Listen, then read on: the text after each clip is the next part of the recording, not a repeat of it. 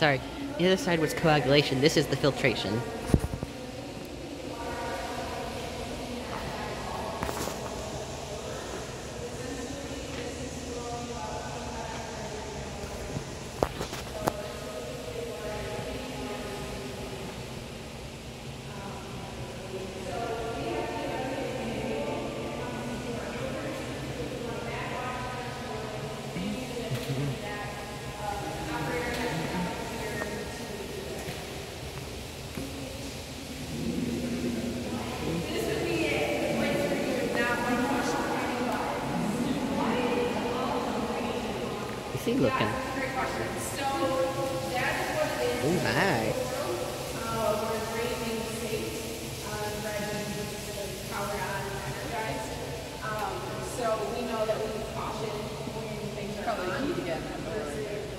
off. So that's what our electrical world is. So if you go into electricity, that's how you learn things. Um, you have to be careful because at different water treatment plants, green actually means on and red means off. So you need to be careful where you get energy.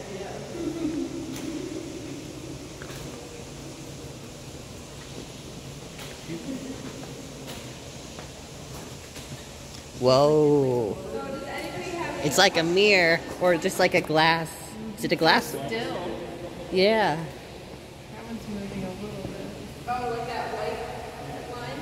Yeah, that's basically our water line, essentially. Um, so It's a liminal pool. well, no. The opposite of a liminal pool. If it was a liminal pool, it'd just be, keep going. That's true. So, an almost. I don't know. the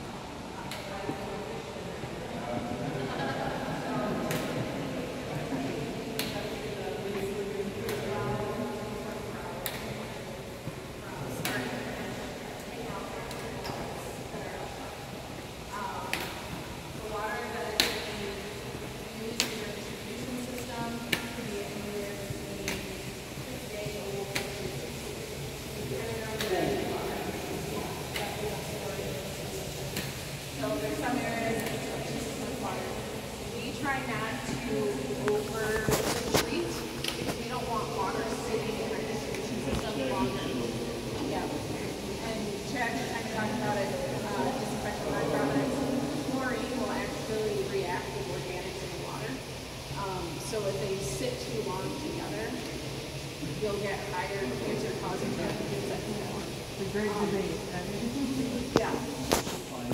Yeah.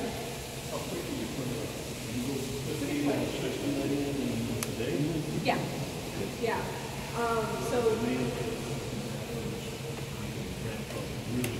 Yeah. Quick, but yeah, um, could basically see changes, I think it's usually eight hours, so water quality becomes really terrible in the Michigan. It usually takes about eight hours for that. Yeah, yeah, so our operators are really good at noticing trends. And when, uh, if they add chlorine at the beginning, we don't actually see it in the process.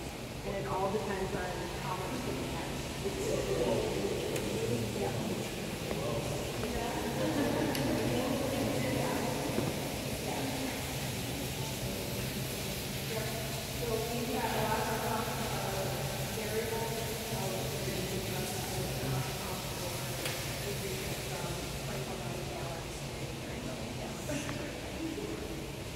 How long does it take you to calculate how much like disinfectant you have to add uh, when, it, when the volume is changed?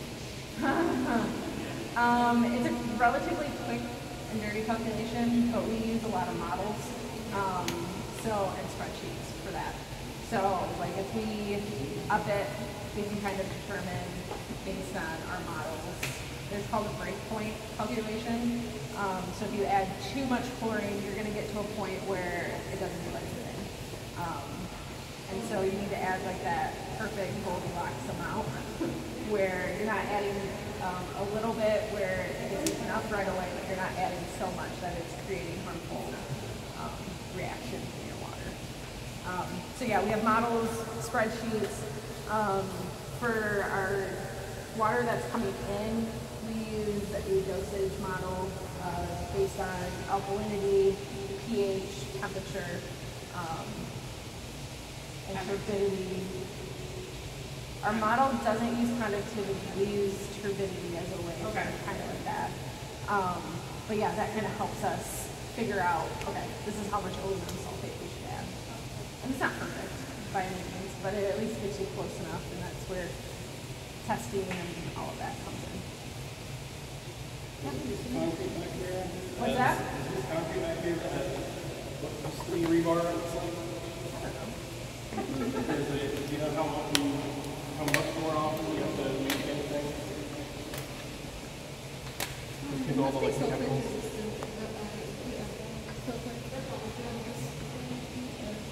Yeah, I don't know what exactly that's from, but we, uh, the unfortunate thing is that for several decades, we've been a silent service, so people don't think about drinking water treatment. And so our infrastructure hasn't been funded. And so, um, you either have to really increase our ratepayers' money and like the cost of our water, or basically do Band-Aid and patches sort of thing. Um, fortunately, now we're getting a lot more money from state and federal governments for infrastructure, but it's one of those things where it's a process, right? And COVID didn't help us much when it came to materials and the workforce to do the work. Is some of that visibility for water drinking, like, is that from post Flint? Or Yeah, unfortunately, yeah. Um, and Whitmer has done a great job to kind of advocate for that. Um, so she's been writing into a lot of supporting the trades um, and infrastructure, especially drinking water. All right. Any other questions? This was great. Well, thank you guys for being here. This was so awesome. This is my first time here too,